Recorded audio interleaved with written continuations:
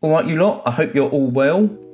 So, I'm just making this quick video because I've been running into a bit of a niche problem with exporting as a batch before and after images from Lightroom, which I use for, you know, my photo walk videos.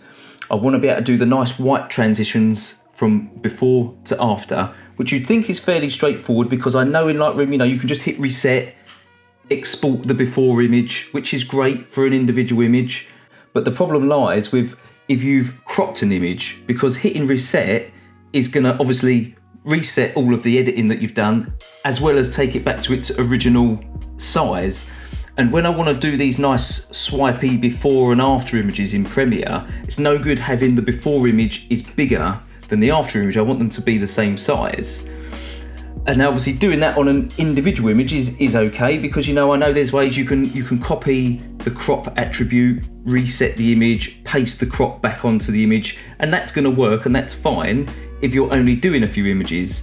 But on one of these shoots I might have 50, 70 edited images that I want to spit out all the before and after images for, which I've been struggling to do. Until now, I've found a little solution which I'm going to share with you. So, if we jump into Lightroom, I'll show you now kind of this little way that I've, I've found of doing it.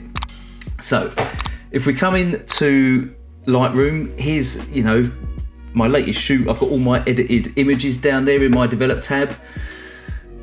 Where this the, this little hack comes in is basically if you go over to your presets, hit manage presets, this is actually quite a handy little tip as well. I didn't realise this, but you can flick on and off the little folders of presets that show up on the, you know, under your presets drop down on the left hand side there.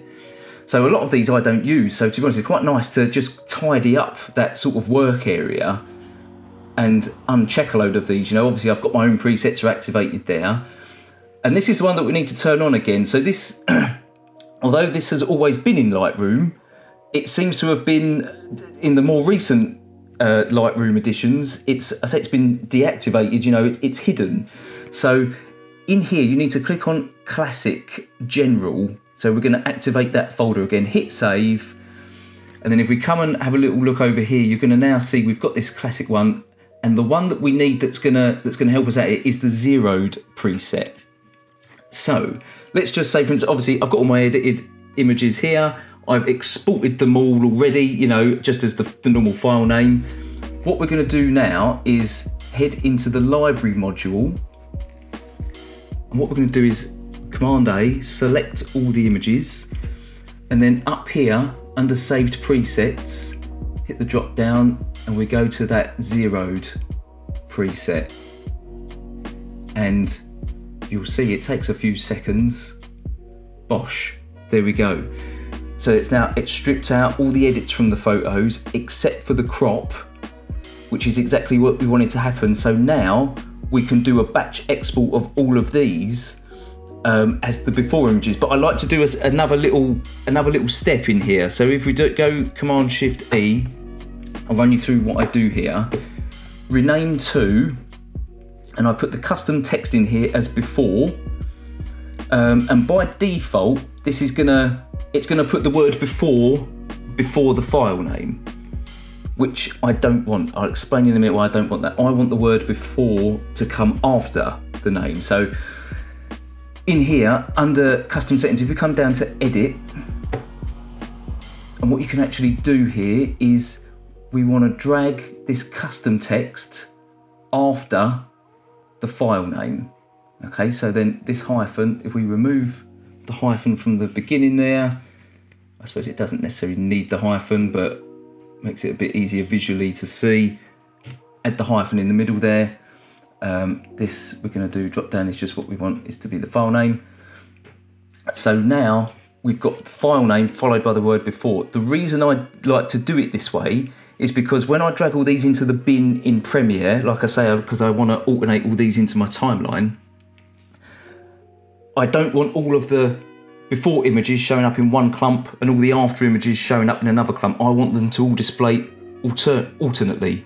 Alternately? Yeah, you know, to alternate between before, after, before, after, before, after. Because I've also found a way, and I'll do a, a little follow up video on this. I've also found a way of automating all the before and after images onto the timeline and quickly getting the little wipe, uh, you know, gradient filter thing on there as well. Transit, sorry, the little the, the wipe transition, um, which, like I say, I will do a video on. So anyway, so after this, I'm not going to hit save now because you don't want to sit there and watch 70 odd pictures all export. But we've got it correct there. So hit done. You would hit export there. Bosh, they're all going to go into your folder. And then the last and quite important step is so obviously that would have been done. Cancel. All we want to do here is while they're all still selected, just go Command Z, undo, and bosh, there we go. It's going to put all your edits back on the images again. So you haven't got to worry about, you know, losing anything. It's all there. Obviously, important step, that last one. Um, yeah, so that is my little hack that I found of doing that. Um, by all means, if you think you've got a better way, quicker way of doing it, I'd love it if Lightroom just spat out before and after images almost, you know, as a process automated in one go. But I've not been able to find a way for it to, to do that. Um, but if you do, by all means, please do let me know in the comments and I'll share it with everybody else. Um, but yeah, hopefully, I, I realise that's a bit of a niche problem. Not everyone's going to have that issue because not everyone wants to export before and after images for that um, amount of pictures. But hopefully, it came in useful. If it did, please think about liking and subscribing. I'll put some links up here to other videos that I've done, and I'll see you again in the next one soon. Cheers.